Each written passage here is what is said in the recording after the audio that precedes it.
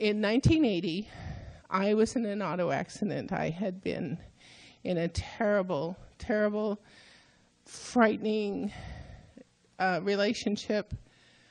I had lost everything.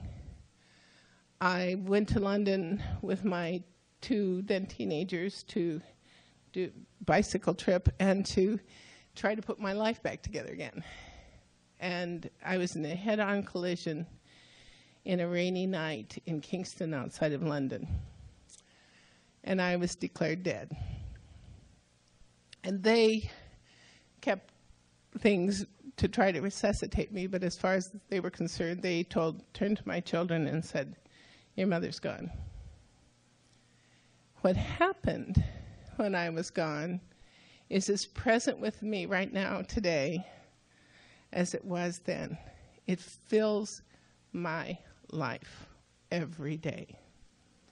And I almost cry every time I think I start talking about this, but it was love to the millionth power.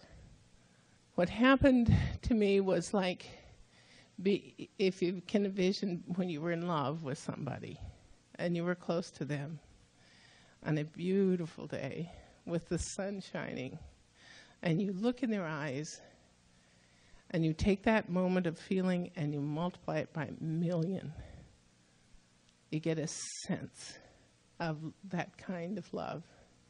And I was trying to use any kind of image. I was in a writing class, and this friend of mine said, Well, just put it down in words, but I couldn't concretize it. I couldn't make it something, I, I quantify it.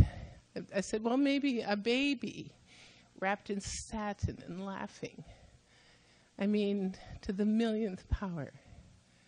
That kind of love.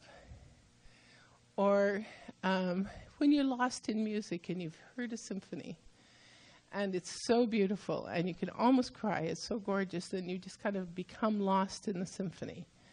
That is a sense of the kind of love that I experienced for what turns out to be 10 minutes here.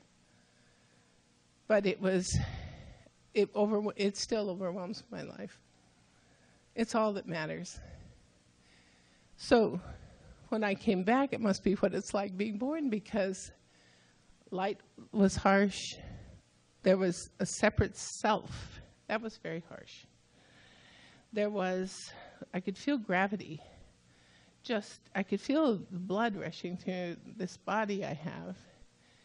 And it was and there were almost two stages to coming back. One was where I came back, and the nurse turned to the physicians, oh my gosh. And they realized that I, I was here. And, and the second stage was later when they wheeled my two children. My son Chris had a broken femur and a broken arm, and my son Tim had his little bottom bumped. And when I saw them, then I went here. I mean, I was completely here.